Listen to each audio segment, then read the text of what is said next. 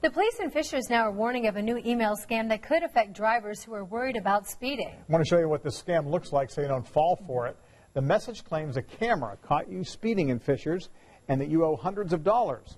It comes from the address penalties at speedcamerafines.com with the subject line, Your Fine for Speeding. It looks really official. You know, it also has a case number, it has the amount due, and also a link for you to view the claim.